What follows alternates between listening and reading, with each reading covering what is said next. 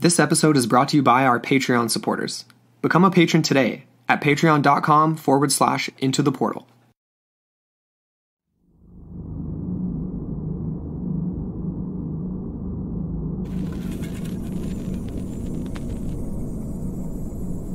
Science and archaeology have gone far to explain the past of human cultures. Ancient civilizations that have since eroded into the sands of time, leaving behind traces for us to uncover and interpret. However, sometimes these artifacts hold surprises, forms of technology that perhaps should not be there. Explanations of these anachronistic technologies have come to explode conventional narratives about the limitations of ancient cultures and reconceptualize the abilities of our distant historical relatives. Tonight, we examine some examples of these technologies, some that have gained the attentions of top academic researchers in the field, and others that have withered into the realm of pseudoscientific blasphemy. Join us on Into the Portal for an all new adventure into the mysteries of human history and ancient technologies.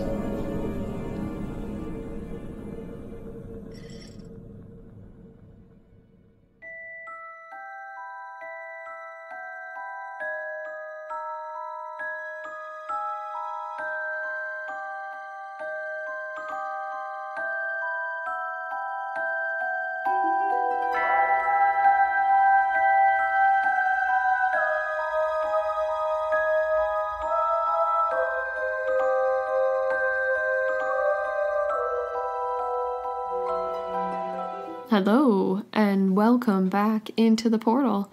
I'm Amber Ray.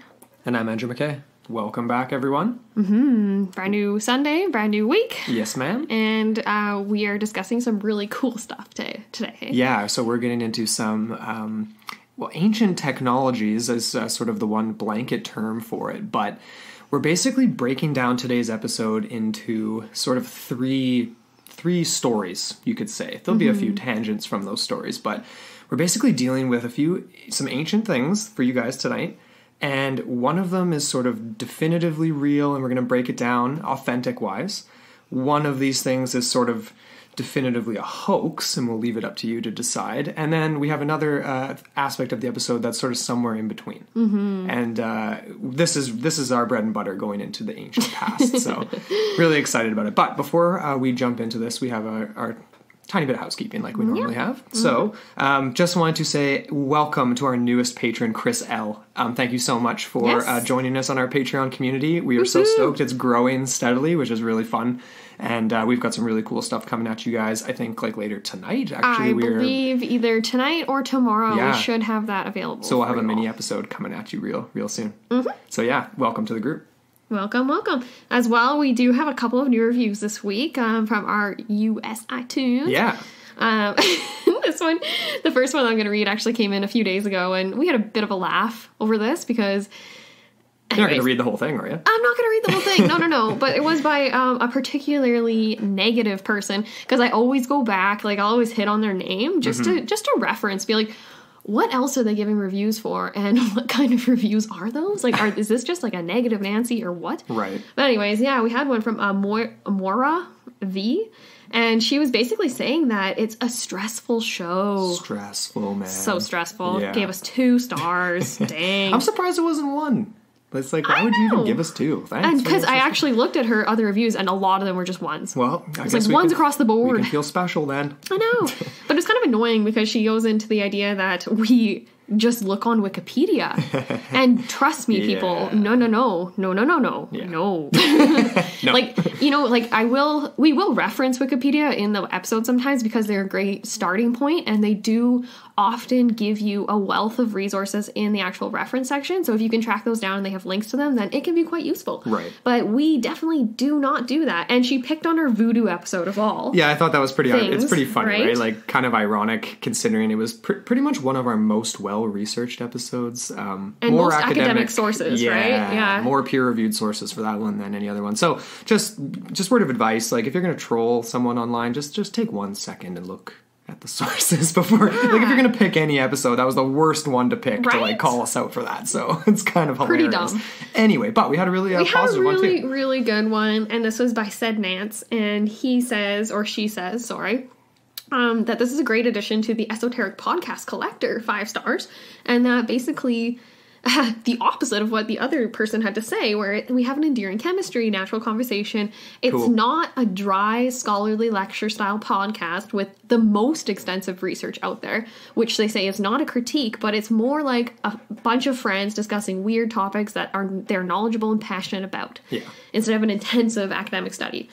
So thank you. You hit the nail on Thank the head. Thank you very much. Yeah, that's really basically exactly that. what we want to be, right? Yeah, and he even ends it off saying it's well produced and accessible delivery, which I like, right? Because that's what we're trying to do. Absolutely. So thank you, said Nance. Thank we you very much. Appreciate that We lot. appreciate everyone's reviews. Who's left one? So yeah, thank you all. And uh, if you haven't yet, hop on there, leave us a review. um, yeah, you ready to jump into this? Let's do it. Sweet, let's do it. Okay, so we are going to kick off tonight's episode with an ancient technology known as the Antikythera mechanism. This was first brought to our attention by one of our um, listeners, actually, Ian, over in the UK. That's so right, Thank yeah. you, Ian. That was a really cool article you sent over. Definitely. And this is really neat, this particular piece of technology. It is being referred to as the Philosopher's Guide to the Galaxy. Very cool. And I thought this was a really cool way to sum up the um, importance of this device. This is a quote from uh, just a Washington Post article. Okay. It says here In this very small volume of messed up, corroded metal, you have packed in there enough knowledge to fill several books telling us about ancient technology, ancient science, and the way in which these interacted with the broader culture of the time. It would be hard to dispute that this is um, the single most information rich object that has been uncovered by archaeologists from ancient times. End quote. wow.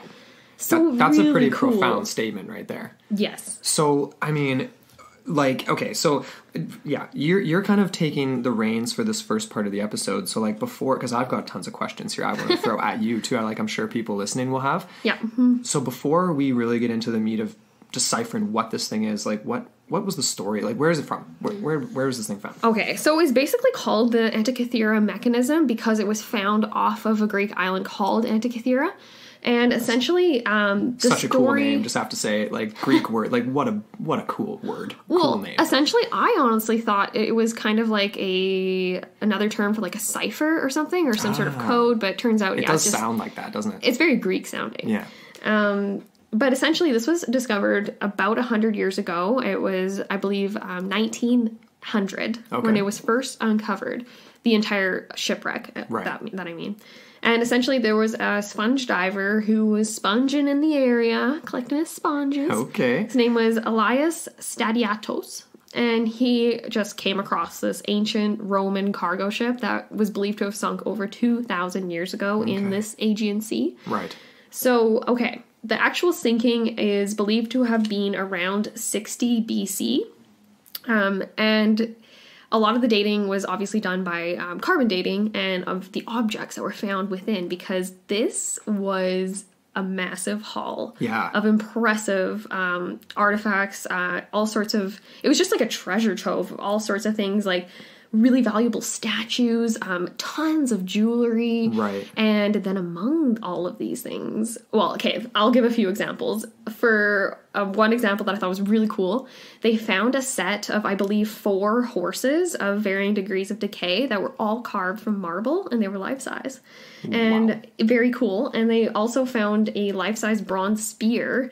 Um, nearby, and they believe this was um, part of an entire set that included a chariot and a full life-size bronze statue of a person. Crazy. So just like really amazing, really well crafted um, artisanal pieces. Yeah, like well, the one uh, short mini doc or whatever we watched, like basically said like at the time this was and still is to to date pretty much like the biggest sort of treasure trove of like marble, marble, uh, other other Mm-hmm. bronze. and different like statues and things like that like ever found, which is pretty Mm-hmm. pretty crazy. all of it.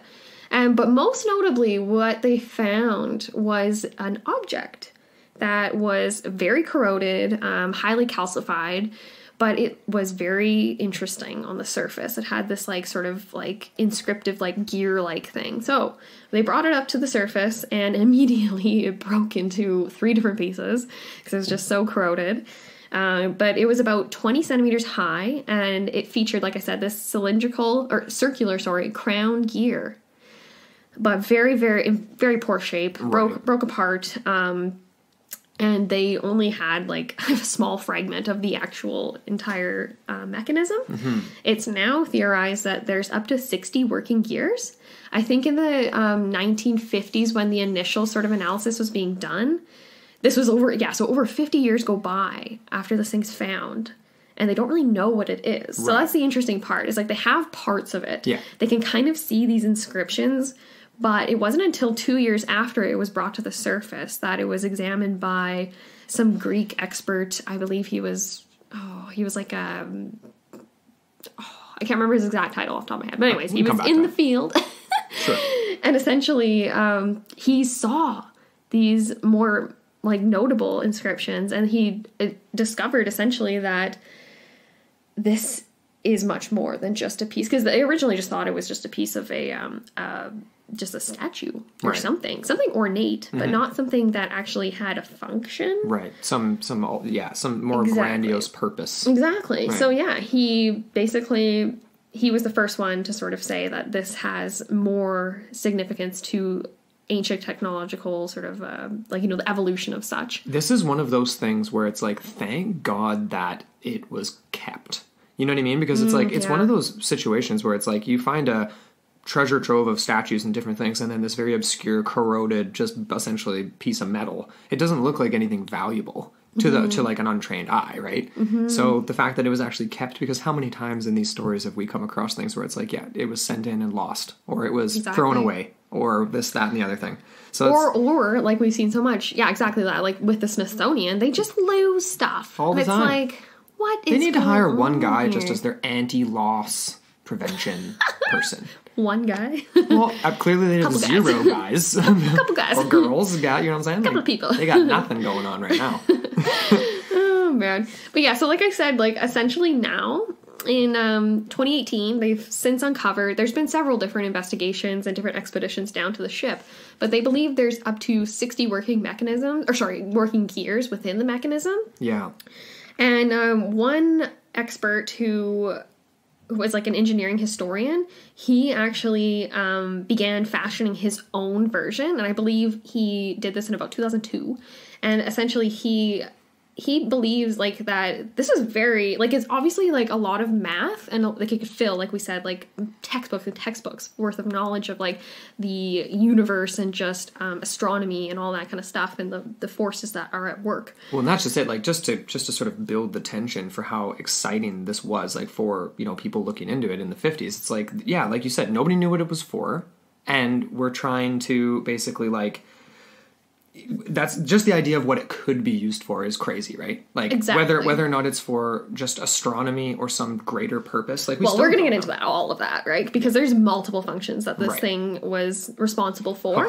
but what I was going to say was that um, this guy, this uh, historian, he actually came up with his own working model, and he, uh, in this one documentary we watched, he actually came. He fashioned one of the gears right on screen and took Mm-hmm. him. He said, "He's like, ah, this would take me about, or take the ancient um, engineer about half an hour. Yeah, and using ancient- simple chisels and tools and files. Right. So it's not as if this is like, you know, some ancient alien technology that's like insane crazy. It's just a lot of information, really just is beautifully um, represented in this one mechanism, Yeah. which is just that is that is the honest beauty of this whole thing and for me and, and just the fascination part of it. Absolutely.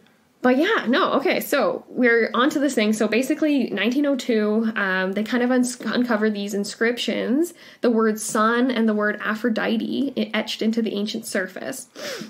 And then about 50 years continue until this physicist and science historian named Derek de Sola Price purchased or purchased published his findings um, in the Scientific American magazine. So he was the first one to declare that this is an example of the first ever known computer made by man. A computer. So it gets even crazier, right? Yeah. So let's just let that sink in, everyone. So this is a computer that's over 2,000 years old. And of course, it's not a computer like MacBook computer, but the idea of something that works on its own independently on a hand crank. On a hand crank, yeah. And and after that crank's you know been been primed or whatever, essentially think of like a watch that runs on your pulse, except a million times more detailed. Exactly. What I picture in my head is something very similar in size to a phonograph and similar Mm, yeah. hand crank mechanism, and it's actually believed to um, have been enclosed in a wooden box at one point. Which of course is lost now. Oh, well, ex- well, it's just rotted away Yeah. underwater. But they actually do make the comparison to a laptop. It's like it's a very similar Interface. size and exactly very similar interface. Yeah, Yeah. definitely. like the display on the front, like you would have just like on a com- like on, on totally. laptop. and then you have all the right? gears, everything working behind the surface, Right. which is very cool. Very cool. So yeah, so basically revolutionized what they thought um, Greek historic or Greek technologists were capable of doing. Mm-hmm. And so Derek de Sola Price, after he kind of made this initial very grandiose um, declaration that it was the very first computer, because like before that, the only ever um, declarations of that were about like 19, or sorry, no, not 1914s, um, the 1400s or 1500s. Like Okay. there were similar medieval technologies, which Yeah. we didn't really look into. But, anyways, it's basically believed that this is a complex clock like structure, is what he believed, this Derek de Sola Price, and that it calculated the movements of stars and planets.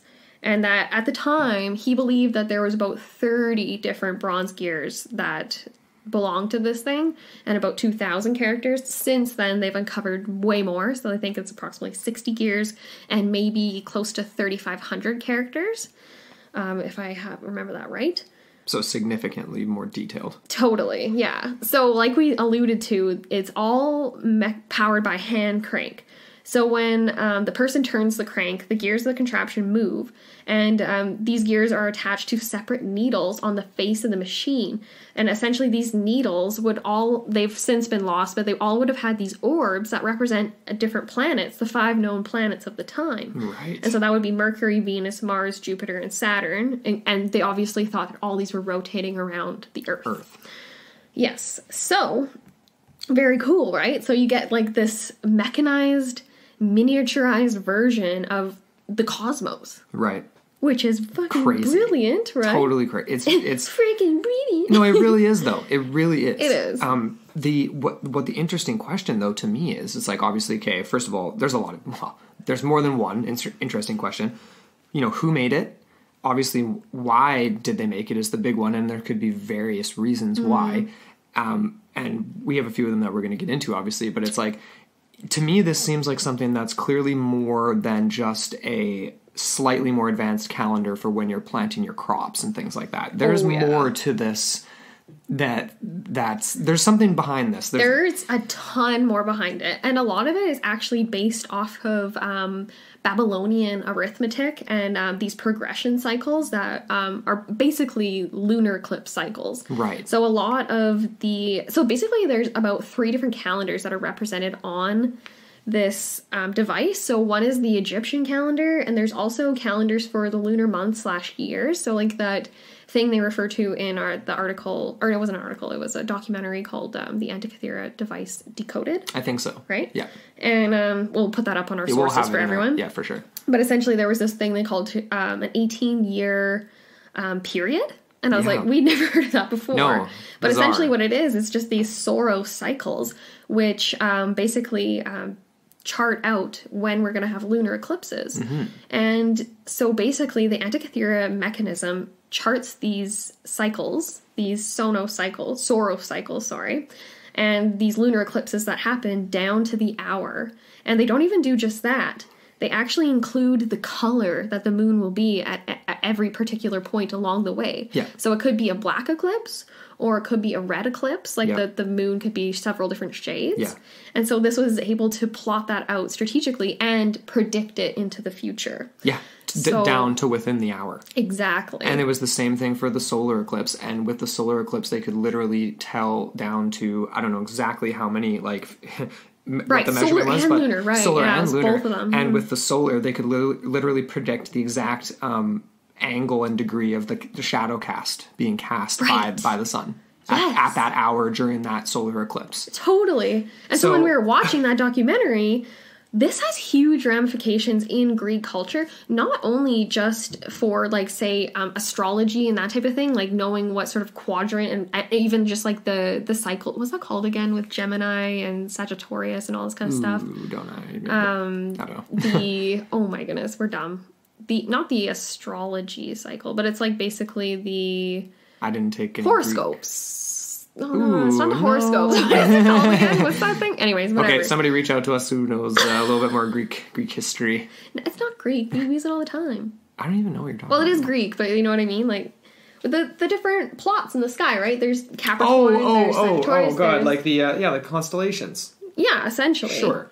So it had that calendar, right? So Right. you knew which phase we were in essentially. Right. Are we in Gemini? Are we in Aries? Are we in whatever? The question, like I just said, But before, like, essentially- why? But to finish that thought, why, right? Exactly. Mm-hmm. Yeah. For war. It was highly um, strategic, right? For war purposes. Okay. and war strategy. And we are given the example in that documentary um, of an ancient Greek force that was off the shores of Syracuse in uh, 413 BCE. Right. And they didn't heed the warning of an oracle that predicted a red eclipse. And basically, it would spell disaster for the Greeks if it was red. And they disregarded it and went ahead and lost about half their ships. And it was a, a red eclipse. So, obviously, this was highly important to the Greeks in their formulations of uh, war strategy, right? And attack. So, if they have those predictions and they have that all plotted out on this Antikythera device, then presumably they have a one up on their enemy. So that was very cool, I yeah. thought. Yeah. So, yeah. Very Um, superstitious, obviously, right? Like, in a way. You know what though? I honestly don't think so. Be- well, um, yeah, sure. To yeah, obviously they have their own mythologies and stuff, but at the same time, it makes a lot of sense because of the effect that it would have had on the tides, right? Ah, okay. So presumably, yeah, the weather and um, the tidal uh, patterns could have influenced, which Right. could have ended up because, like, essentially what happened was their ships got grounded. Okay, and sure. then and then they lost about half of them. So I'm not Oh, sure if that was to weather, if that was I because of the offensive going on. I don't know. Who knows? But essentially, not a good time to attack no, for yeah. multiple reasons. Maybe. But and you know what that also that makes me think too? It's like clearly something like this had obviously happened many times before. You know what I mean? Like the reason, like if if the one of the main functions of the Yeah. uh, And how would Antikythera mechanism. be in tune with that? hey? well, exactly right. Like obviously one of these main functions, why it was made, if it was for war purposes, then clearly there'd been some other experiences with solar and lunar eclipses related to war before it was built. Yeah. Well, it definitely wasn't um, contained to just that. Well, that's what I'm saying. Yeah, one Definitely. of its functions. One of them. Yeah, Right. which is really cool, Yeah. right? This is almost like the ultimate device that any ruler would want to have at his side at all Right. times almost. Yeah. Because it's very full of knowledge and just you can just it's like a quick reference that you can literally just look at and be like, okay, this is happening and this is gonna happen then. But essentially it also took into a lot of other different things. And lunar cycles, yes, as well as the um, orbital cycle of the moon's axis. So I'm not even sure if I'm really saying that right, but essentially the moon goes through this nine year cycle where um, it's kind of like on an elliptical cycle, right? And it kind of wobbles almost. And that cycle, the actual axis of that um, goes through a nine year rotation. So it'll be back at its original point in nine years. And this device, with all its mathematical genius, is able, able to take into account that cycle and believe me, people, if you go and watch that documentary, which we're not going to get into the math because I hate numbers. Well, I don't hate numbers, but I suck at them. but essentially, this is brilliance Yeah. to the utmost degree. Yeah. And I, the more we dove into this, the more and more I just like had such an appreciation and fascination for this bit of technology that Yeah. now looks like basically um the worst end of a like storm drain lid like it doesn't it doesn't look, very- like much now, right? No. Um, it was the really the um, you know the really advanced X-ray scans of it, and when you see like the digital rendering of it, like when it's Mm-hmm. all layered together, and when they figured that it would actually be you know sixty gears and not thirty gears, and how detailed it was, it's like it is insane. It's really cool. And it's not even um, just keeping track of the cosmos, it's also keeping track of things on the ground here on Earth. So, a lot of um, cultural events that were important to the Greeks, things like the Olympics, um, lots of different sporting competitions, uh, were all recorded on this device That's so cool. which is really neat. Yeah, so it calculated the timing of all the Olympic games. Um, there was also some other more minor games that actually kind of help uncover where this device could have actually been made. Some people argue. There are so many different theories though as to where this device came from and who made it. Right. That it's it's a lot of conjecture, but a lot of very smart, um, informed conjecture on the part of all these academics. So yeah, okay. So maybe let's get into that a little bit. Sure, let's do it. Well, should we get into that, or let's get into expeditions too? Because we have All right. all that to talk about. That was Okay, really well, really cool. Let's do it. Let's jump into expeditions. All right, so let's go through this because there was three big ones, and the um, the first one obviously was in 1900. So once that sponge diver initially found the device, they begin uh, like a pretty extensive um, expedition. But obviously, this was hampered by very early technology in regards to diving, so they weren't really able to get that far down at a time. Essentially, all they had was a heavy bronze helmet for their diving equipment, and it was connected to a long rubber hose that was fed air by a manual crank at the surface. Right. So this is a quote here. It says the entire contraption allowed only five minutes of bottom time per person and require requiring the excavators to rotate among 20 men at a time. Crazy. So crazy, but they did manage to uncover quite a bit. So they um, had a total of 36 marble statues, handful of bronze ones, and all sorts of ceramic and glass containers, lamps, human remains, jewelry, all that kind of stuff. And and then yeah, basically they uncovered the mechanism as well. Didn't really know what it was until a couple years later.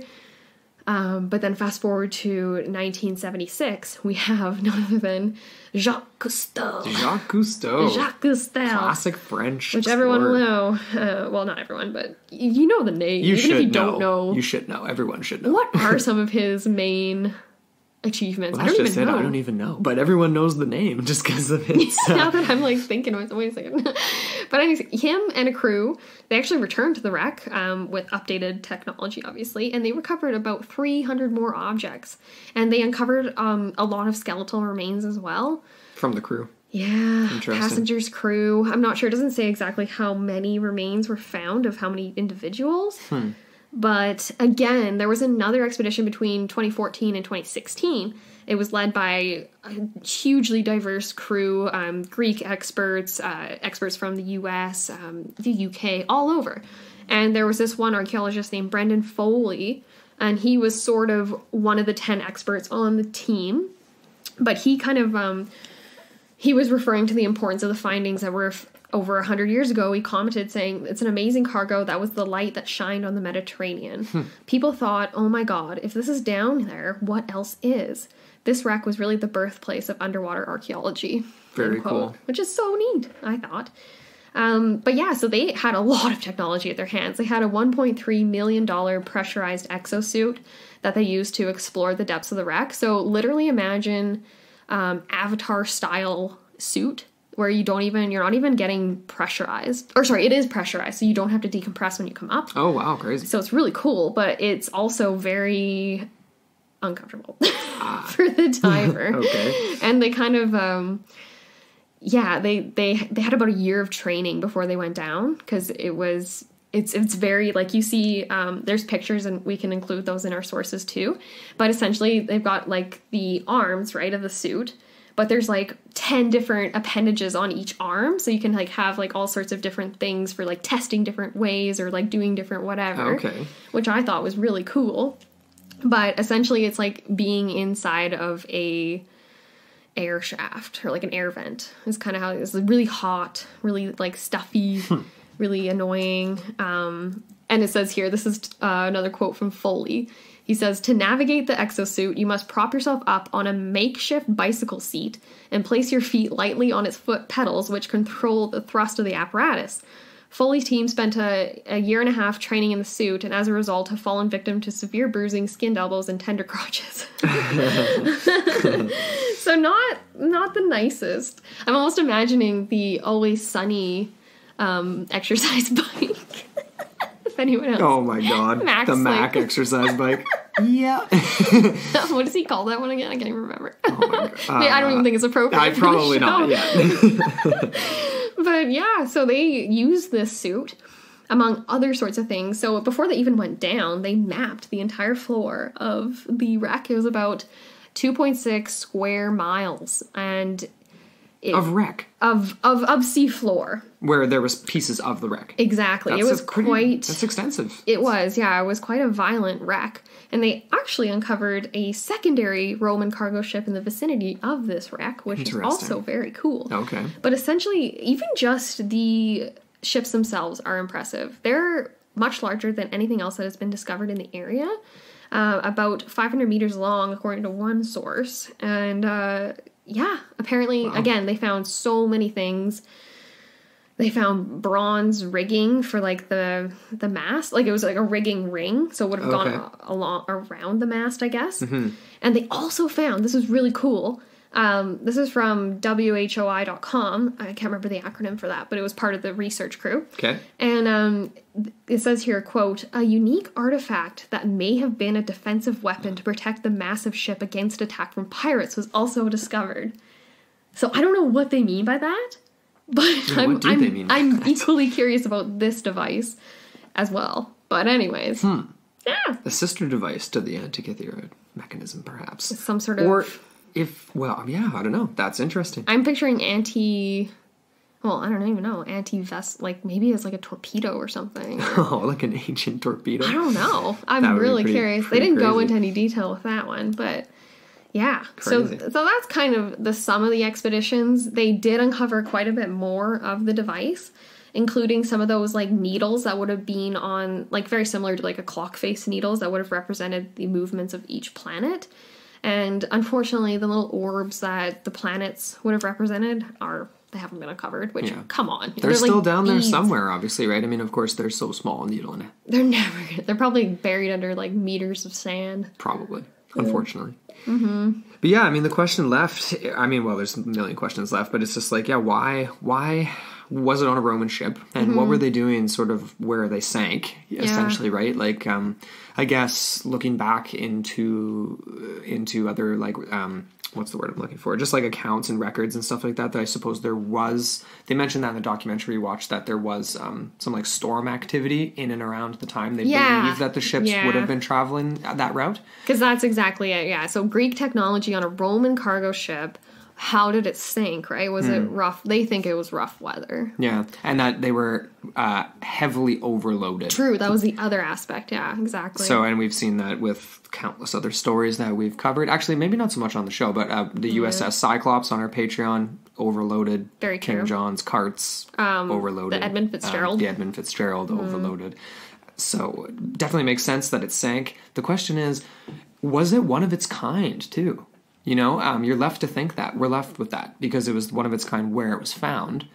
It seems like the type of device that was it. Was this just like a prototype, like meant to be go into further manufacturing that was going to like outfit every Greek ship, and it just never came to be because of yeah, who knows the plans for it being lost and nobody being able to recreate it. that's an interesting theory because again yeah there's so many different ideas as to who might have invented it where it could have come from there's the one theory that it was invented by archimedes The mathematician. yeah exactly who lived in syracuse syracuse sorry Yeah. and the one idea for on that tangent is that syracuse was invaded by romans uh, i can't remember which emperor some emperor It was around 200 BC. Exactly. He ordered, yeah, basically that everyone be killed except for Archimedes because he was obviously highly important. Special. And that there were two devices taken from that raid. And they don't say what those devices were, but then unfortunately you get the death of Archimedes. Um, Slaughtered by a Roman soldier. Yeah. Alleged, uh, as the story goes. exactly. Yeah. For no So good just to reason. think of like what ec- other knowledge was lost. Right? I know. You know so I mean? that's one mode of thought. There are a lot of other ideas, though. There's the idea that, again, yeah, um, more spoils of war garnered by Julius Caesar, which would come much later because I think that the the actual um, sinking occurred in 60 BCE. Okay. And there was another theory that's favored by Dr. Foley that suggests that the boat was transporting a bride of importance across the sea. And that these Oh. were all gifts for her marriage family, like, you know, kind of like dowry. That makes sense. And then this tragedy struck. Um, I don't really know if I'm sold on that one. No? How There's come? another, well, it just seems bizarre that that amount of treasure and maybe it is it is Well, it depends who it is, right? I mean, if this was some, you know, whatever. If this was the yeah. it just had so much more importance and so much more value and i feel like with the um the context of a second cargo ship too in the vicinity i feel like it was more so it, it seems more like a raid.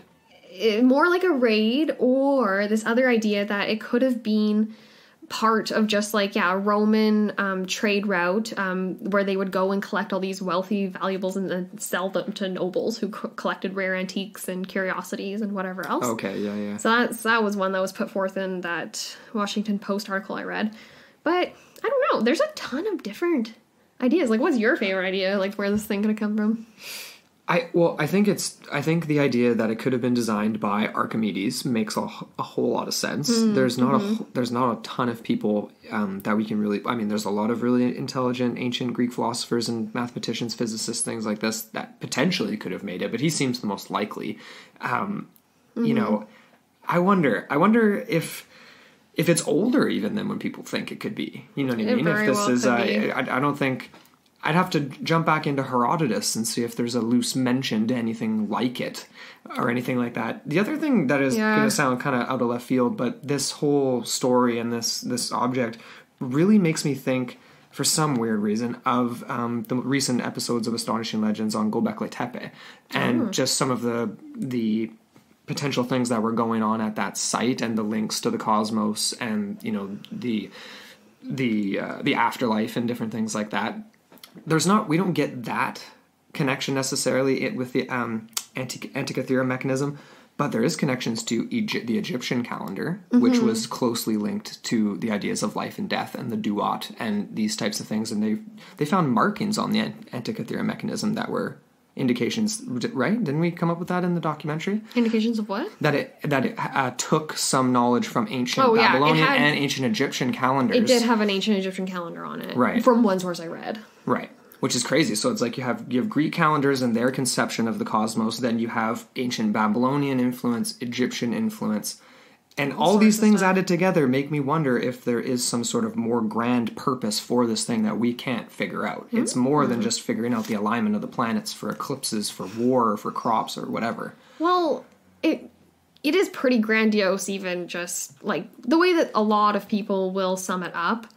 It's basically this one guy Jones, who was part of the most recent expedition. He says here is like in a single instrument, they were trying to gather a whole range of things that were part of the Greek experience of the cosmos. So you're, yeah, I don't even know how much grander you can get with that. Like, Yeah, I guess not. Well. unless you're using it to conquer the world. No, but I guess my point is just is just why is it just to have a physical marker Mm-hmm. to travel through the ages that so so the Greek conception of the cosmos will I- always yeah. be remembered? I think or so. is it because I think you- it's a celebration of the technology, Okay. and it's a it's a mechanized example of their understanding of the cosmos. That to me is incredible. Very to have true. all of these different systems working together and all these tiny, minute gear systems. It's insane. so let me get this straight. You don't think there's an ancient uh, ancient alien connection No, here? no. I'm I'm kidding. I'm actually kidding. going. I'm going the anthropocentric humanist route here, and I'm going to say this is a celebration of our ingenuity and our achievements. All right. And normally I don't champion that sort of whatever, um, but I'm going to do it this time. But anyways, um, there was uh, another. oh, sorry. I was just going to say uh, just before we move on here, just because we're, pre- we're we're preaching Greek. Shout out to Tas Melis from the Starters. I'm gonna I'm gonna put that out there. He's probably not to listen to this, but we're gonna I'm gonna try and make him listen to it. So anyway. Okay. All right. Okay, I have on. one other thing, just a little tidbit here. So, like we had talked about, um, there was a lot of uh, events and sports competitions that were kept track of on this mechanism. And one of these was a really minor competition that was held in Rhodes. And so, uh, some researchers actually believe that this indicates that the device itself may have been manufactured in Rhodes. Huh. Just because to place significance on that just seems weird and out of place if it came from different areas and they might have done that for their specific locality Right. Yeah. No. For sure. and then also to support this sort of idea is the fact that much of the pottery found in the wreck are characteristic of Rhodes as well and i'm not sure exactly how uh how nuanced pottery was in each specific area of greek life. Oh, it definitely would have been. Obviously, you and I aren't versed in that, but I would imagine there's probably like stamps or some sort of like thing that they would press into it that would kind of like um, Indicate what- where you're from. exactly. Yeah, sure. Mhm. I don't know though. Who knows? But essentially, yeah, that's kind of coming down to the end of the road there. We Mm-hmm. sort of, yeah, it's it's kind of interesting though. It's like where did this technology come from? Where did it go? And a lot of researchers are puzzled by the fact that this is the only one in existence. There isn't really another form of technology that is comparable and that still exists today, except for that one. I think it was like an 8th century astrolabe that was brought forth by. uh, Was it 8th century or was it even later? I can't remember. It might have been later in like the 13th. no, I think that that no, that sounds about right. Because yeah, no, it was about yeah, it was about a, close to a thousand years after the Right. anti- Antikythera mechanism. So it's like oh, this amazing feat and this engineering whatever, and it's literally a thousand years more modern than Yeah. what we're looking at, which is which is crazy. Exactly. So that is Arab in origin. So essentially, what a lot of people think is that this technology kind of passed on to the Byzantine culture. Yeah. Um, I always remember like Emperor Justinian or Just Justin. Remember that guy we learned about in school, and he was like super harsh realist. Anyways, Okay. that's a side note for sure. But whenever I think Byzantine, I always think him. But anyways, and then um, and then from there, it kind of passed into the Arab world and kept alive in technologies such as astrolabes and stuff. Yeah. More less grandiose, less all encompassing, but very uh, intricate as well technologies. Right, which is just kind of funny though, right? Because here we have a you know a progression of close to a thousand years. It's it's dispersed this knowledge, yet the devices you see in that period are less complex. It's just I find that so interesting. Mm-hmm. I this honestly- esoteric knowledge gets just just um, diluted over Yeah, time. totally. Or like the nuances, because like we even had this brief conversation after we watched that documentary, right? Where it's like, like they said, like one of their main ideas as to why it was never reproduced was that the inventor was killed or the culture was killed off or something. And one theory was the idea that it could have been um, Arch- Arch- Archimedes, sorry, Right, Archie. Archimedes. Archie. but um, that kind of makes a lot of sense to me, and just the idea that ebbs and flows happen in every sort of culture and civilization, and a lot of the technology is confined to the upper echelons of the sort of technology elite. You know what I mean? Like Yeah. just like the the most knowledgeable people in our society, and those are like the zero point zero one percent of the population. So like if they got wiped out. The 99.99% of us left would not be able to reproduce that. No, or it would take It would take years. generations upon generations. As long as we had to- the texts and the tech, like you know, like the literature to kind Right. of refer to or something. Yeah. Because otherwise, then you're just screwed. that's just a cheat sheet, though, right? Because like is, yeah. these people didn't have those yeah. things. No. And so that's kind of another explanation, right? So it's like if if the knowledge is lost with a mind or a couple minds, like, Yeah. like gifted minds, and then they're just lost, and that's that. But I don't know. I really love this mechanism. I it still is revealing secrets to this day. It's continued to be studied by scientists from a in Athens at Cardiff University, um, the Aristotle University of um, Thessaloniki. I don't even know how to say that. Um, it's also studied by X-Tek Systems in the UK, which was the provider of the X-ray technology that they used. They built a custom X-ray to look at this device. And then they transported it to the device. They didn't even do it the opposite way. Yeah, yeah. Which you would think would be easier, right? But no, I guess not. too too The risky. clearance, too the clearance risky, would have right? been like, yeah, too much. But yeah, no, they're still researching it away. It's it's a it's an interdisciplinary and um, international. Yeah. yeah, international. Absolutely. That's the word. I'm uh, yeah, I'm looking forward to see what else uh, can come up from that. Before we jump into our next sort of story here, though, uh, we have a quick promo break. Um, we haven't done well, we did one last week, but we haven't Mm-hmm. we been doing a ton of these lately, so it's nice to uh, to do some more. Mm-hmm. This one is uh, for our show called Faux Fright Podcast, and it's hosted by Noah Logan, and it's a great show. You guys should go check it out. It's Mm-hmm. basically very similar to us, except more kind of focused on ghost stories, paranormal stuff. Um, he kind of goes around the U.S. not literally, but goes around the U.S. metaphorically, looks at the country's sort of historic locations and um, strange things that happen at those locations. Starting with his uh, places right in his home hometown in Savannah, Georgia. So yeah, take a listen to this promo and go check out Faux Fright podcast. Hello, everyone. My name is Noah, and I'm the host of the podcast Faux Fright. Faux Fright aims to examine the paranormal going on around us each day within the context of real life history. I do my best to break stories down and learn as much as I can about the reality and the lore. There are shadows around us every day, stories just waiting to be told, and dark corners waiting to be explored. You can listen to Faux Fright on most major podcast apps and follow us on Twitter at Faux Fright. I'm always looking for people to join the adventure, so keep a tight grip on your flashlight, check over both your shoulders, and follow me.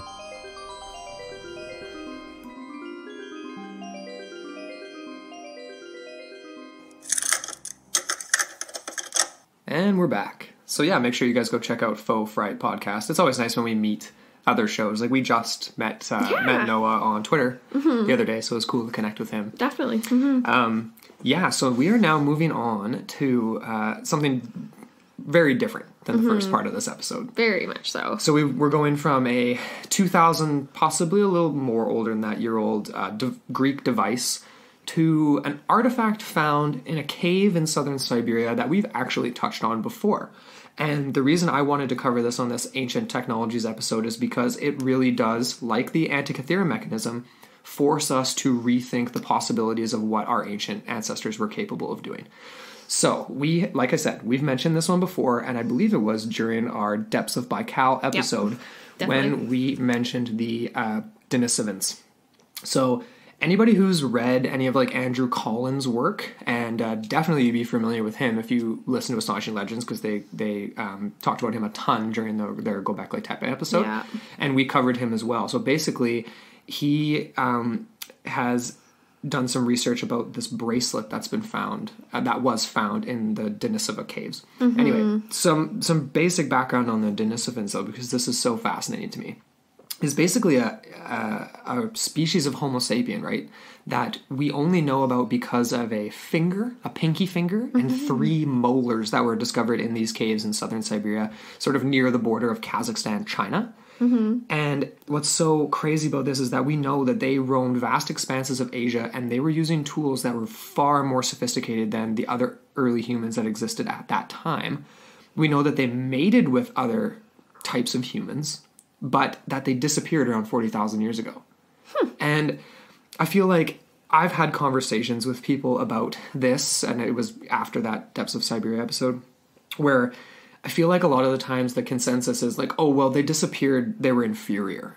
You know what I mean? Like, they kind of hmm. disappear from the record 40,000 years ago. Clearly, they sort of they interbreeded, interpopulated, and just sort of died out in a sense because they, you know, maybe they didn't There's have no the evidence. technological advances or whatever, right? And they do have specific sort of DNA mito- mitochondrial chromosome things, right? That- yeah, like that- it's unique. okay. hmm But my sort of argument on the other side of that is that maybe there's a reason why they were so distinct to begin with, and it was just sort of the time of them to be on the on the way out, so to speak. The question that the Denisovans bring up is could there have been more sophisticated populations of ancient peoples that went through a cycle and then on the tail end of their prime, so to speak, to use a sports term or whatever, mm-hmm. right? They would end up mating with Neanderthal, other different peoples like that, and slowly kind of disappear. The That's reason, like, sorry, like, go, go ahead. What do you think of that? What do you think of that general idea? I I like I just said, I think it's interesting. Mm-hmm. I I get what people say right when they say that it doesn't really make sense. Um, like if they were so technologically superior, why would they have died out? Kind of that argument where I understand that because a lot of the times like that we have as far as historical precedents is that if you are more advanced, then you usually end up taking over the inferiors Right. instead of the other way around where you gen- become more and more like i don't want to say inferior but just like as far as like technological capabilities um you know what i mean like Mm-hmm. no, and that totally makes sense. And I, and I, unless it is another case of the antikythera mechanism where the technology is lost along with a few gifted minds Right. like you know an upper echelon of um intellectual elite and then they Exactly. are gone yeah and the reasons for that them being lost could be for a very variety of different reasons. And when if we're coming back to the Antikythera mechanism in ancient Greece and ancient this and that, well, that's one of the theories for like the the loss of Atlantis, right? There was this massive geologic event, and we lost this place that was uh, uh, you know full of great advancements and intelligent people beyond that around the rest of the world, right? or even sabotage by say neanderthals or by other populations like i what comes to mind immediately is the burning of the library of alexandria like what if there was some sort of um, sabotage or some sort of warfare that inevitably like resulted ancient in human warfare, like before warfare was really a thing. Totally, like yeah. Neanderthal on Denisovan. That's kind of crazy to think. or where they see some well no i know this is getting really like i'm, I'm using all of my frameworks and preconceptions to kind of define this but what, what if they saw what the Denis- denisovans were doing and they thought that it was basically their equivalent of witchcraft and heresy? And so therefore they're like mm, need to be eliminated. This Quite is all possible. pure conjecture. Pure conjecture, but it's interesting because they did disappear, and we don't find modern like any Denisovan DNA in modern peoples, other than some populations in basically Asia Minor, and then according to Andrew Collins, very small pockets of um, the Finnish population, Nordic population in Finland. cool So, but like you and I would not have any Denisovan DNA Right. left in us. It'd be just so dilute, you wouldn't find it. Mm-hmm. But anyway, so that's, I just wanted to kind of tee it up like that because they could have been more advanced. And the reason people think this is because of what was found. It is kind of crazy. So we mentioned this before. The oldest stone bracelet ever ever discovered in the world was found in this cave on layer 11, stratum 11 of the of the Denisova archaeological site so the deepest layer yeah, I believe it's the de- I believe it was yeah the mo- the least accessible layer. But Makes basically, go down yeah, each layer by layer yeah, sounds about right, right? so we know that there were other sort of human populations in the area and stuff like that, and that there was there's artifacts from various time periods in the area. But this bracelet was found and originally dated between forty and fifty thousand years old. okay So it's a stone bracelet. off offhandedly, that doesn't sound too special, right? Like it's doesn't. But what they discovered shortly after this was that it this bracelet was just a piece of a larger item of jewelry okay that actually had a con- um, connective pieces to it with a hole in the center, and that's how it was connected to these other pieces of the of the whatever.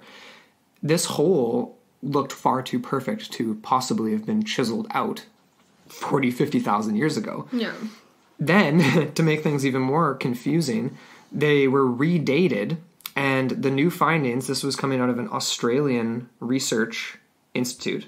And actually, there's no names linked to it, and that's a little bit kind of fishy for me, to be honest. But hmm. new findings came out basically suggesting that it's sh- it's more likely to be dated between 65 and 70,000 years old. And this hole in the center of this bracelet when looked at under the microscope, its striations show an indication of extreme high speed drilling.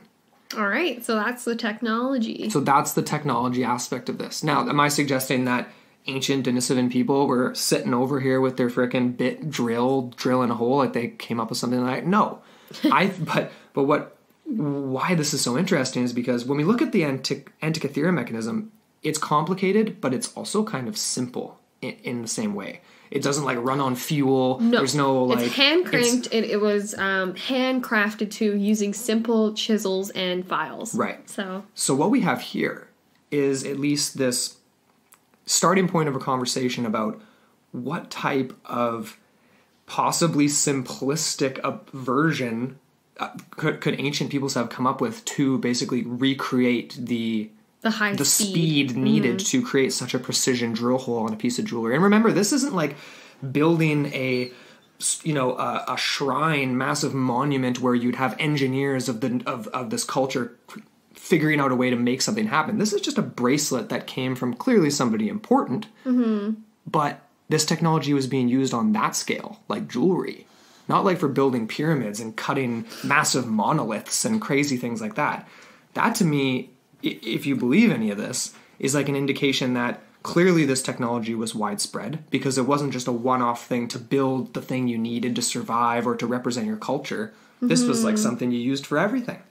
Jewel- Essentially, jewelry, this and that, whatever. it kind of looks that way, right? Right? Yeah. If this was, if if if you know, you could go another route. Like this has been described as a part of a bracelet. What if it was actually part of something else? Like you know, like not ornate, not. What if it was actually part of another work? This is again like I'm, I'm pure conjecture. Right. The other thing that this, I just want to make the point here.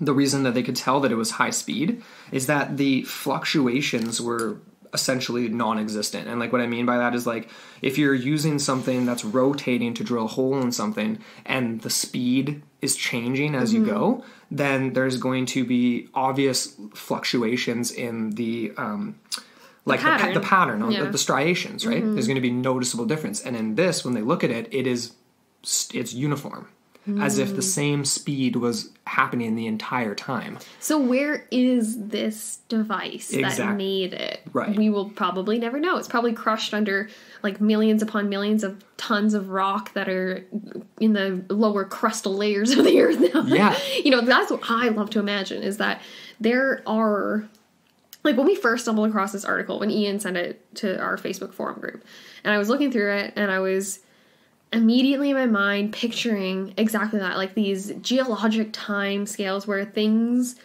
exactly that they get recycled back into the lower layers of the crust of the earth and a lot of it we'll never find. And then like there are some oh my gosh what am i trying to think of that noah's ark reference where his ark was found way up in a mountain or something and some people think that that's part of a big flood or whatever or something like that. But what if it was actually part of like an uplifting action of um like a geologic event occurring like a mountain building event right, Right, something okay, like yeah. that right? Because you do get that every now and then right? Where you'll get um, say geologists they'll find um, ancient layers of um, ocean crust embedded in miles high of mountain up in like say like Chile or something. Yeah. I don't know, that's a totally random example. I'm not. No, but they do. They do. exists. They find- But that's what I'm trying to say, right? Yeah. Like all these different, and a lot of it, like this, probably this machine that is responsible for making this bracelet bit Yeah. or the hole in it is probably in one of those situations, maybe. Potentially. that was immediately when my wild imagination went to.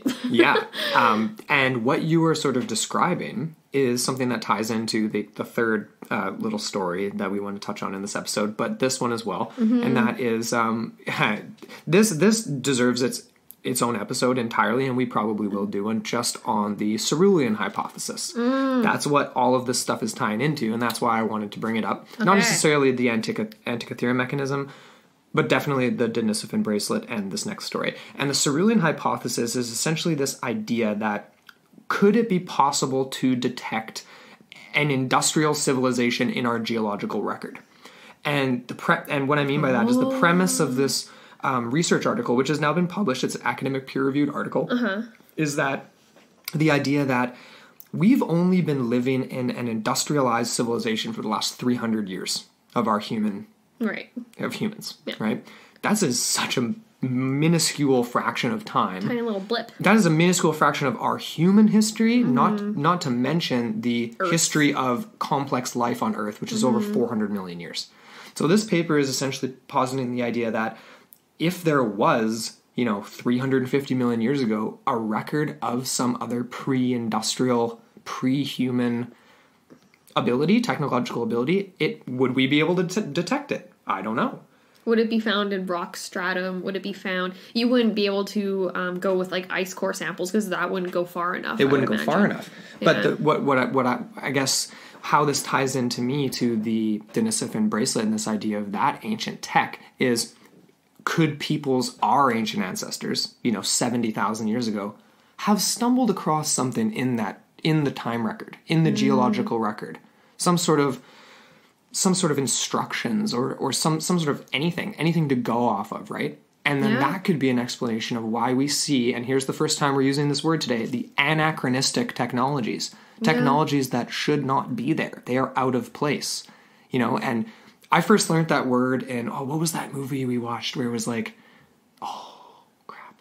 oh, I'll, I- I'm gonna find it because that's gonna kill me. Where it was basically like it was supposed to be like a period piece though in like the 1800s, and then all of a sudden there's a helicopter coming in to like drop drop stuff, and it's like wait that shouldn't be there. Like that's not supposed to be there. Oh yeah, what is that? Oh, I, I know what you mean. Yeah, so essentially that's what we mean. That's interesting That, that, you're saying like basically there could have been a handbook. There could have been some instructions that was uncoded. You know, it's interesting. We didn't actually. I forgot to mention this when we were talking about the Antikythera mechanism, but um, apparently there is sort of an instruction manual of sorts that is Really? attached to the, and it's not like what you would say where it's like it's not telling you how to use it, but this guy Jones essentially says it's like what you will see is such and such. Like you know, like as if it's almost like a museum plate. Like this here is blah blah blah. like you know, which is kind of funny. Yeah. But that's interesting though. That but the only problem with that is like even if they had access to such a manual or such an instructions, whatever, how would they have been able to interpret it? Well, that's just it. That's just like us, right? Now, 2,000 years later, with this Antikythera mechanism, Yeah. uh, uncoding ancient Greek symbols and stuff. So Yeah. it's not like it's not possible. It's very interesting, though. But I- what if I like that? here's my theory for that. What if the possible thing that yeah ancient peoples found was yeah like you, you say how would they have interpreted it right well what if it was literally laid out in like hieroglyph Mm-hmm. Oh, true. where it's like images. showing you literally images as if you were trying to show a three-year-old how to put the triangle shape in the tr- in the triangle shape for his, his playhouse toy right? no not ikea instructions because then they would never get it built. It would be like they'd build they'd be like wait wasn't this supposed to be bunk beds? It kind of looks like a giraffe. Like, not really sure but It's a uh, raft. yeah mm, yeah great. Wonder if it'll float. Yeah probably not. So that's that, I, I love that. Anyway. It's a very interesting because here we get an artifact that is associated with the technology. It's not the technology itself, but it is a product of Yeah. such. Which is why it's a little different from the Antikythera mechanism, a little bit of a shift, Mm-hmm. and so much more to unpack there. Um, we'll definitely come back to that. I, I recommend to. going looking into some of Andrew Collins's work. It's definitely fascinating. It is. He definitely interjects a lot of his own opinions and theories and ideas, Yeah. but he always he usually will premise it by saying he's giving his opinions. But He's super fringe, but he's good. He's fringe, yeah, that's a good way to phrase it. Because there are some ideas that you might think are awesome and incredible, cool, and then there are some that are like, that's just bad shit. I'm sorry, man. Yeah, a little bit. Like he even has he has a lot to do with he loves to connect um astrology and the cosmos and the sky, like sky maps, um, and how the constellations kind of fall into that. And he's a lot of ideas on like the North Star and whatever. And we touched on him briefly when we did the um, Giza underworld Yeah. and the pyramid of or sorry the tomb of the birds and um yeah Giza's underground and how that all connected and, and the star shafts and stuff we didn't really get too far into that one but that would be another thing we have to revisit eh Yeah, we'll have to come back to that. We love that stuff. we will but not today Not today. We are, um, finishing not off- tonight No. no not tonight no. Anybody who. You, okay anyone who gets that reference they get um they get free into the portal pins so Yeah. if you know where that's from please get us yeah. Oh, I'm curious to see if anybody will know where that's from. I love it because I was thinking in my head the other day, like, we haven't thrown out one of those in the last couple of weeks, so we need to do that. But anyways, yeah. Um, let's get into our last story of the Let's do it. and that is none other than I don't even like to call it this, but I'm going to call this anyway because it's what it's most known by, and that is the London Hammer.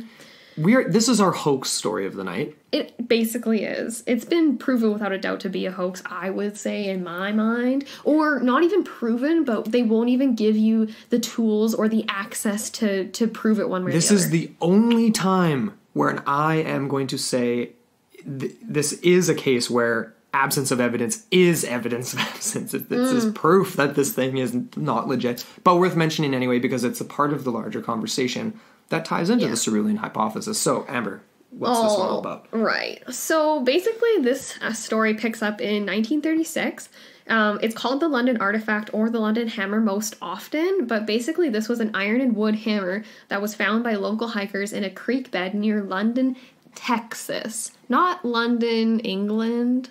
That just is- seems like such a bizarre name of a place in Texas. I don't We've know come why. across quite a few of those recently, where I'm like, Yeah. whoa, like they're just uh, they're London, just, they're stealing names, man. Anyways. Like, what's next? Like, I don't even know. I can't. Okay, I can't think of anything. I can't think of a funny thing to say. But what's? I don't know. Okay, so the story goes that this guy, Max Edmund Hahn, and his wife Emma were out walking along this path on Red River. And um, this was obviously in London, Texas. They noticed this bizarre looking artifact kind of sticking out. And basically, it was described by um, them as a rock nodule with a piece of wood sticking out from it, sitting on a ledge near a waterfall. It wasn't attached to anything solid around it, and so the couple picked up the artifact and brought it home. And um, they got their son to actually take a hammer and chisel. Huh, irony abound. but um, yeah, so he took a hammer and he essentially chiseled it out of the stone. And they basically noticed that it, it seemed to be an ancient hammer of sorts. okay. Okay, so we're looking at predominantly limestone for the rock. We're looking at a uh, environmental situation where we have a waterfall. So we have water action and we have limestone. Hmm, what do you get when you put those two together? Massive erosion. Massive erosion and just um, redeposition of limestone materials from one place to another, like downstream. So you will see. Just look up any example of limestone for me. Like you know, everyone knows Sure, sure. about. So, but But- why was this so special, Amber? Allegedly. Well, supposedly the rock that was encasing the hammer was dated to the Ordovician period, which is more than 400 million years ago. 488 to be exact. Exactly. Uh, so this period, I just pulled up a couple um, quick facts about it. So it lasted about 45 million years old, beginning in uh, beginning about 488 million years ago and ending about 43 or sorry 443.7 million years ago. And this was um, basically a time where there was almost like two um, supercontinents um, the gondwana and then there was also another more northerly one. But essentially it was almost um it was almost entirely ocean in the northern half of the world and uh, most of the world's land was collected in the southern oh sorry it was one supercontinent called gondwana which Oh, eventually crazy. split into two Okay. bigger ones but essentially um, yeah during this period it shifted towards the south pole and then much of it was submerged underwater but it's best known for um, a diverse amount of marine invertebrates um, so trilobites brachiopods conodonts i don't even know Close early enough. early vertebrates. so that's essentially what we're looking at. Lots of cephalopods, corals, things, gastropods in the neck of the woods. No, um, no humans supposedly. Supposedly. not according to uh, and and really I hope we we're not intending to offend anyone who is uh, religious, but Oh, no. um, definitely this is one of the um, things tied to early creation. Well, let's just say, yeah, it's tied to creationist ideas, it's been appropriated under the early creationists. Um, right? what what do they call? Do they call themselves the early creationists or like the? Um, Basically, the the people who claim that humans were around for this period and possibly all the way up through like uh, during the dinosaurs era with the dinosaurs. oh, sorry, young Earth creationists is what Ah. they're called. Sorry, I knew there was an actual word Right. for it. And, yeah. Anyway, continue. Okay, so basically, the rock, like we said, is dated to about 400 million years. It does rock can exist for a lot, like especially limestone, right? And then it can wrap itself uh, basically around and erode itself around objects such as a hammer. Right. Um, so essentially, that is the counter argument to a lot of people that are saying that this is of modern origins. Yeah, well, and here's my other thing about that. I, I'm not, and I'm not a, uh, I'm not a scientist, but I'm fairly certain that um, anything made of wood, even if it was like petrified, preserved in like an amber or some sort of something that could preserve it for million, hundreds of millions of years, the I'm just guessing. But I'm going to say I'm willing to put money that the second that that wood that's that old is exposed to oxygen, it's going to turn to friggin' dust. That's a really good point. And on top of that, it would have turned to coal a long time ago.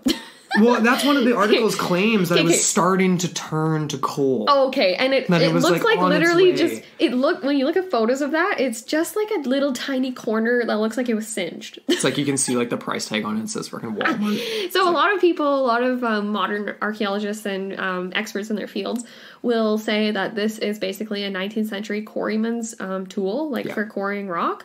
And um, that essentially would have fallen into the Red River near the waterfall because there's a rock quarry nearby. And that it would have been over the course of 100, 200 years, it would have been um, um, eroded into this material, right? Into this limestone. But you know what's hilarious? Okay, so one of those articles I was reading about this thing when I was in I was enamored by this initially before I started digging in um, a little deeper. Yeah. And one article states like right off the bat that this hammer um, was five or sorry, not five million, it was five hundred million years old, putting it almost a full hundred million years ahead of the rock casing. So they're trying to I don't even know. And and but the same article closes by saying that the hammer itself has not been carbon dated.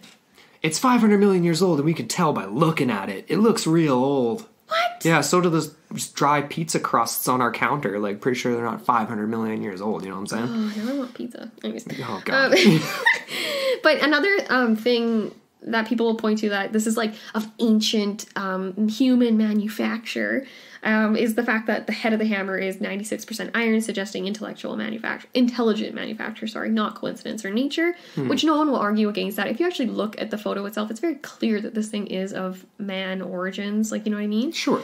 Um, but that's not to suggest that it's ancient by any means either. Right. So we're going to get into a little bit of controversy. Um, you kind of dug this up, this first bit here. So hey? yeah, so like basically, the hammer's been promoted by a guy named Carl uh, Bog. Is that how you I think would it's pronounce it? Bow, probably like? B A U G H. Yeah. Okay. Carl. Well, well, I'm gonna, I'm gonna call it Scout. Whatever, Like and whatever Holly, I feel huh? like. No. Um, Well, he calls anything else what he Carl feels like. Bow. He's um, yeah. So I mean, here's the thing. I just want to state this for the record that since we've started doing this show, I Amber and I are both pretty much you know we're agnostic, Mm-hmm. um, and you kind of have to be when you're talking about paranormal. You have to be open, and because we don't have the answers to these things. Mm-hmm. Um, but I have to say that doing this show has definitely opened my mind to a lot of other things, including um, the historic uh, credibility of re- of religion and primary sources in like the Old Testament and different things like that. So I just want to at least say that where I'm not discounting all. We're not using this as like a you know to say to just cross off No, all religious exactly. history or not a blanket like coding argument at all. Um, no. But anyway, so yeah, But it's just that there are quacks out there, and There this are, guy yeah. is a quack, and I think that's almost being respectful calling him that because a lot of people have a lot dirtier words I think it's disrespectful to ducks. quite frankly.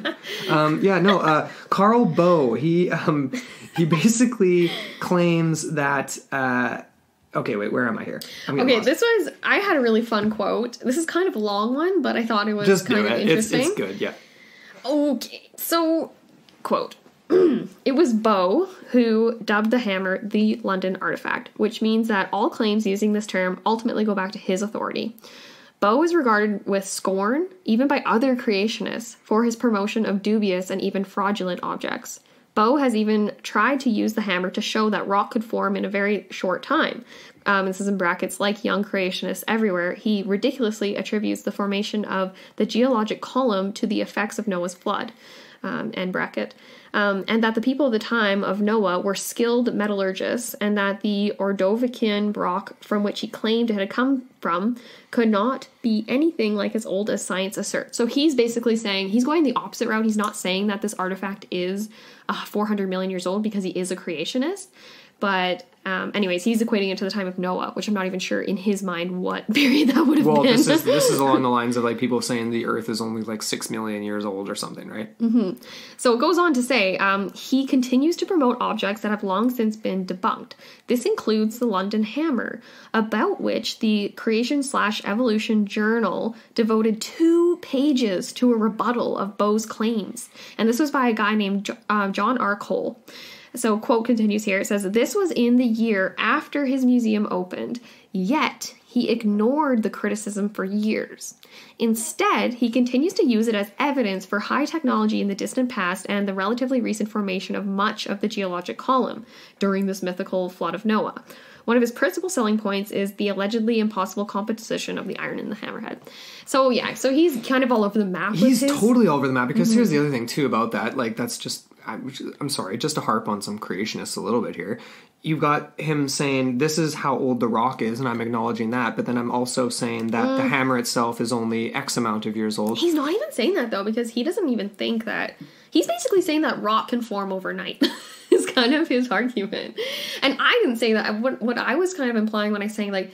Um, the limestone could have been um, covered, like the rock, the rock could have been encased in limestone. Yeah. that's a totally different form. That's not a creation of rock. That is No. just a transference of the That's composition the yeah. That's just the sh- yeah Yeah. the shape of it changing, and anyone will anyone and the molecules re- rearranged. If you go out and look With on the influence of if you go out and look on your driveway where there's a leak from a gutter, you're gonna see some erosion. Like you know what I mean? Like it's not. Limestone's very soft rock. Yeah. But anyways, it's not even that. But like he is such a little bugger, in my opinion. He doesn't allow any testing to be done on this exhibit. Right, which of course is just proof in and of itself that Yeah. it's a total. If he had no hoax. fear of any Um, of this, then but that's just it though. He doesn't actually abide by the conventions of science, right? Well, of course, none of these people do, right? They, No. they, they're like, oh, the Earth is only six million years old, and be like, oh, well, what about this dinosaur skeleton? Six well, I million get, years or, or old. six 6,000. years. Sorry, six thousand years old, and it's like, oh, well, what about uh, what about this thing over here? And it's just like, oh, yeah, no, that was just,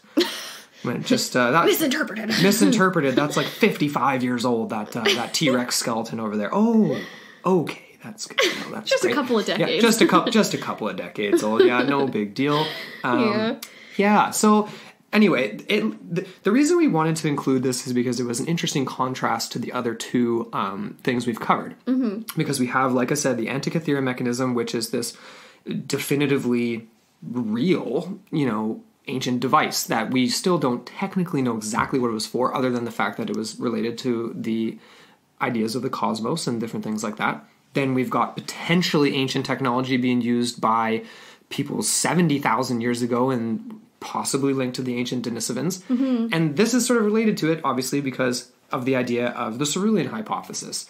Could we find things in our geological record that would indicate advancements in technology? Did we define what the Silurian hypothesis is? yeah, I did. Yeah, so it's Okay, basically yeah, sorry. yeah. So yeah, basically just the oh, idea Oh, that the industrial civilization on a geological record. Exactly. Okay. Okay. So I feel like this London hammer, this is was trying to, unless you unless you're going by the the bur, the the Baugh definition of it, it's it is essentially trying to uh, prove that hypothesis in a way, right? It's it's saying here we found this object um, in the ancient time record, and uh, yeah. yeah, I don't even know. It's kind of um I don't even know. It definitely gets the conversation going, even though this is clearly total BS. Um, with the London Hammer, like I'm just gonna. It's It's, interesting. Though. interesting nonetheless. And I find it fascinating just the fact that this hammer that was so relatively recent just got encased in such a bizarre way. And Yeah. and what's also interesting too, in that same chunk of limestone, there's um un unfossilized um like cretaceous shells or sorry not cretaceous that's a that's a period geologic period but you know like um shells of like a of a just a shell like you know that would have housed a, Yeah, yeah, yeah, yeah, yeah. Like from like ancient trilobites and different things like that. Like No, not even. It's not ancient. No. Oh, it's like No, super no. modern. Yeah, it's just a shell, like that you find on the beach. So it's so it's even this just So gets even less juicy then That's for this. interesting too, right? Because like, what? How old is the shell? I don't know. Oh, well, we'll never know because old Carl doesn't let you take a look at there there bud. Carl, come on. But uh, yeah, honestly, I, I think I think we're okay without looking at this hammer from from Carl. Yeah. Um, I want to know, and we're going to look into it. We only we, we don't want to go more than an hour and a half per episode, but uh, there's definitely more stuff out there um, that that could that we could have included in this episode. Um, the Baghdad Battery, Mm-hmm. yeah, that's a good um, one. Is a, is a good one, which of course they sort of semi debunked on MythBusters, um, showing that you would have needed way more of them to actually generate enough energy off of what would have fit in it. Oh, okay. Um, but could it have been used for something else? Who knows, right? Maybe. So, if you guys have other things that you know of Mm-hmm. related to this, anachronistic technologies, ancient technologies, things that shouldn't be where they are, Mm-hmm. we were going to include the Dropa stones in this episode, but we realized that sort of looking into it, it's like, well, you know, more of an artifact It's and- artifact linked to other sort of fringy things, not necessarily related to the Silurian hypothesis, hypothesis and that sort of Mm-hmm. thing, more ancient alien kind of stuff. Mm, So we'll get to that eventually, but maybe. but this this is what gets my keeps my juices flowing is this kind of stuff. The idea of what we can find in our ancient past what was capable in our ancient past and i feel like this is the this is the current running through all our episodes right? This Totally. is through the uh, the giza underworld especially and, and ones like that. Ultimately like okay if you're to kind of mash these three things we've talked about today, today together and kind of come up with a sort of a a concluding statement or or thoughts where would you be at on that Well, I just say that a lot of the times our conventional ideas and narratives are exploded by these finds that seemingly come out of nowhere. Yeah. A sponge diver. Just just, you know, like that's crazy. Totally. And I loved that quote that I read earlier from that guy Jones that was part of the expedition about how this is basically like it opened up Pandora's box as far as underwater archaeology. And that to me is crazy because that's a huge wealth of like you know like how many shipwrecks how many Oh, whatever like you know like so that's cool to me just the opening of the doors of possibility to widen our understanding and to appreciate what ancient cultures and civilizations were capable of Totally. Yeah. Totally. I, and I, I guess I would have to just sort of yeah, steal that answer and say the same thing because Mm-hmm. that's really what these do. And even with the London Hammer, it keeps the conversation going. Yeah. As long as you don't believe word for word verbatim what this guy's saying, and that's Keep obviously a small small percentage of people that are buying Yeah. into that crap. But yeah um, just keep pursuing knowledge right and keep just pursuing knowledge, keep your minds open, critical Yeah. Mm-hmm. thinking. We try to, I think, beyond anything else, promote critical thinking on the episode, yeah eh, on these episodes, and on the show. definitely